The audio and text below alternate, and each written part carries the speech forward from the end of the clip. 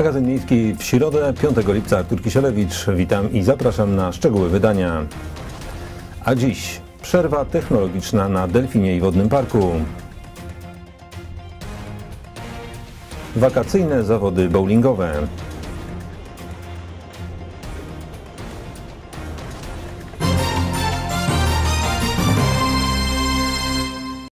W związku z koniecznością przeprowadzenia okresowej konserwacji zaplanowano przerwę technologiczną w działalności krytych pływalni.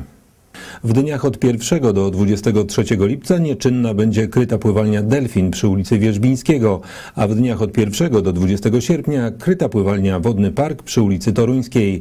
Przerwa technologiczna to coroczny etap konserwacji pływalni. Oczywiście sezon jesienno-zimowy i ten wiosenny to są żniwa dla krytych pływalni. Jak wiecie Państwo, również funkcjonują szkoły, placówki oświatowe, a to rzesza młodych ludzi, która musi uczyć się pływać, musi mieć zajęcia wychowania fizycznego na basenach, choćby po to, żeby utrzymać w dobrej kondycji swój organizm, a także przygotować się do bezpiecznego spędzenia wakacji właśnie latem. Dziś zaś e, zaczynamy właśnie ten sezon wakacyjny i przerwa technologiczna, to jest, tak bym ją nazwała, to taki niestety obowiązek spowodowany zarówno stanem technicznym urządzeń, tych związanych z uzdatnianiem wody, z jej jakością, jak i obiektem budowlanym, który musi mieć swoje przeglądy, musi mieć uzupełnione, że tak powiem, płytki w miejscach, w których przyszło im odpaść lub uszczelnienia tam, gdzie nastąpił jakiś przeciek. To po prostu jest organizm, który pomimo tego, że martwy w jakiś sposób żyje i jest eksploatowany przez człowieka. OSIR zaprasza również do korzystania z inowrocławskiej termy oraz basenu odkrytego.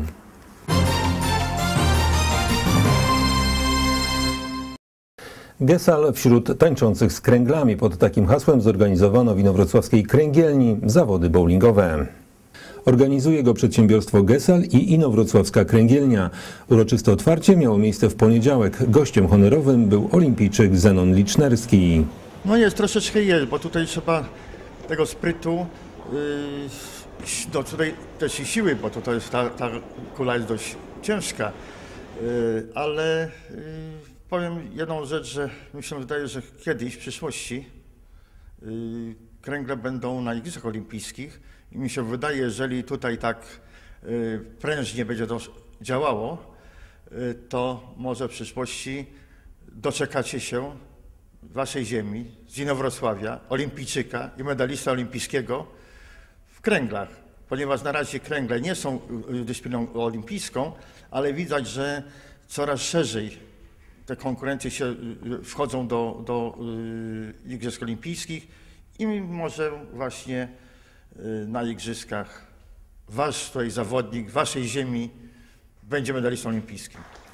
Zawody będą się odbywały przez cały lipiec, sierpień i wrzesień. Na najlepszych czekają nagrody miesięczne i nagroda główna.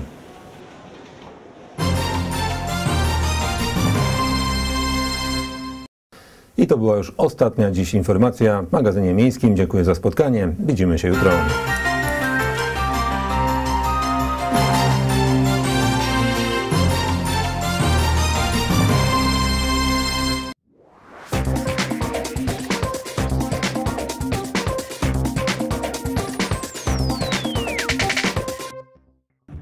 Niesamowite maszyny, tłumy ludzi, których łączy jedna pasja motocykle. To właśnie dla nich wymyślane są zloty. Każdego roku fani jednośladów przemierzają Polskę, a bywa, i świat, by spotkać się, wymienić poglądami i uczestniczyć w widowiskowej paradzie. Inowrocław już od ponad dekady mocno zaznacza swoją obecność na mapie fanriderów. Już po raz trzynasty zorganizowano w naszym mieście zlot motocyklowy na Soli, który trwał trzy dni. Motocyklowe miasteczko powstało na stadionie przy ulicy Rakowicza. To właśnie tam bawiono się przy muzyce na żywo i brano udział w konkursach jak choćby rzut młotem, toczenie opony ciągnika. Punktem kulminacyjnym tradycyjnie była już parada motocykli, która przemierzyła miasto. Ryk silników mieszał się z muzyką zespołu Koral, który na żywo grał na platformie będącej częścią korowodu jednośladów. Mieszkańcy z okien i balkonów, a także sprzed drzwi swoich posesji przyglądali się niecodziennemu widokowi. Trzynasta edycja nie była ani trochę pechowa dla organizatorów. Nie, jak się robi to w, od wielu lat, to się człowiek właściwie niczego nie boi. No, na pewno jest to zawsze jakieś wyzwanie co roku nowe, ale mimo wszystko Fantastyczna atmosfera towarzyszy za każdym razem Wam w tym miasteczku piknikowym, pomimo, że czasami musicie się opierać pogodzie. W tym roku jakie zespoły zagrały? A w tym roku zagrał Inowrocławski Kor wczoraj i cela numer 3. Cela numer 3 po prostu wymiękliśmy. Naprawdę wspaniały koncert. Wspaniały koncert. Dzisiaj e, YouTube Tribute z Inowrocławia, Koral z Kruszwicy i z Lublina Manson Band. Jeżeli robi się coś po raz trzynasty, to jakie wyzwania tak naprawdę sobie stawiacie każdego, za każdym razem? Czy coś Was jeszcze w stanie zaskoczyć? Y, Tylko pogoda nas jest w stanie zaskoczyć tak naprawdę. Mamy już to wszystko dopięte, wszystko właściwie co roku, tak staramy się dopiąć na ostatni guzik. Jedynie pogoda rozdaje karty, jak, jak zawsze. E, No i atmosfera, no, staramy się tutaj stworzyć taką atmosferę dla tych ludzi, którzy do nas przyjeżdżają, żeby się czuli jak u siebie w domu. Za każdym razem jest zapewne około kilkuset motocyklistów, ale czy to są stałe ekipy, stali ludzie, którzy do Was wracają po raz kolejny, czy gościcie tutaj nowych członków Waszej bratniej załogi? E, To jest właśnie tak, że są i stali uczestnicy, którzy od lat przyjeżdżają, właściwie można powiedzieć od 13, ale jest też cała rzesza nowych ludzi zupełnie, którzy pierwszy raz do nas trafiają, no i się wspaniale z nami bawią. Czy trzynasta edycja obfitowała w jakieś zaskakujące momenty, elementy? Jeszcze tego nie, nie potrafię powiedzieć. A jakaś ciekawostka związana ze z motocyklem, z lotem? No nie, no ciekawostek jeszcze nie, nie potrafię jeszcze tego do końca ocenić, bo zlot właściwie się za chwilę tak naprawdę rozpocznie w 100%, bo dopiero teraz po tej paradzie wracamy do miasteczka zlotowego i tam się wszystko zacznie dziać. Będą e, wy- wycieczki, e, konkursy, koncerty, no i cała ta historia nasza. Na parkingu przed galerią handlową na Rąbinie odbył się pokaz stuntu w wykonaniu ikony tejże dyscypliny Macieja Bieleckiego, znanego szerzej pod ksywką DOP, stantera, który jako jedyny w Polsce wykonuje triki na motocyklu marki Harley Davidson. No można tak powiedzieć, że właśnie to są rzeczy, które ciężko zrobić, ale postanowiliśmy z kumplami, że się tym zajmiemy z ekipą Stunt Story, jak widać właśnie. No i staramy się, żeby to działało. Jeździć na motocyklu tak jak... mm, No, używać go w sposób, do którego nie jest przeznaczony. O. A co jest największą trudnością? Masa motocykla. On jest to 100 kilo, ponad 100 kg cięższy niż taki przeciętny motocykl używany do tego sportu. E, Oczywiście to będzie pytanie pół żartem, pół serio, ale nie jest na Pan na żadnych odżywkach i dopalaczach, bo Pana postura no, nie powala wagą. Oczywiście, że nie. To wszystko robi motocykl e, swoją mocą, tylko trzeba się go trzymać. Pan osobą bardzo podziwianą w internecie i cały czas, jeżeli czyta się informacje na Pana temat i funkcjonuje jedno stwierdzenie, jedyny. Co zatem powoduje, że pomimo tego, że osiągnął Pan sukces na tej maszynie i pokazał, że można przełamać pewne bariery, nikt nie podjął się tego zadania w Polsce? Ciężko im powiedzieć, to już bardziej do nich pytanie. Mi się bardzo podoba i na razie jestem sam na Harley'u w Polsce. A jak Pan często musi poddawać maszynę konserwacji, naprawie, bo wiadomo, że to, co Pan robi, to bardzo mocno eksploatuje sprzęt. Oj, cały czas. To jakieś drobne takie awarie. Znaczy awarie, coś się odkręci. Tutaj e, są o wiele większe drgania niż w motocyklu takim czterocylindrowym. No i rozkręca się, trzeba go po prostu sklejać na klej, dokręcać i to tak o. Zakładam, że poszerza Pan pakiet swoich trików. Co jeszcze przed Panem, co chciałby Pan osiągnąć konkretnie na tej maszynie? No na tej maszynie jeszcze jest kilka trików, wolałbym nie mówić, tylko po prostu je pokazać, jak już zacznę je robić. Ale jeszcze budujemy z mm, kumplami drugą maszynę i też prawdopodobnie niedługo będzie można ją zobaczyć.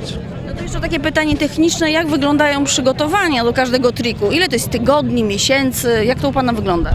To znaczy, no nie ma jakby przygotowań do tego, tylko cały czas jest trening i trening i przygotowany jestem non-stop.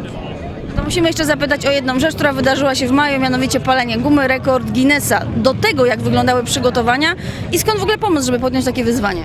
No pomysł jak każdy inny jest e, inny niż wszyscy mają i po prostu taki pomysł przyszedł do głowy nam no i się stało.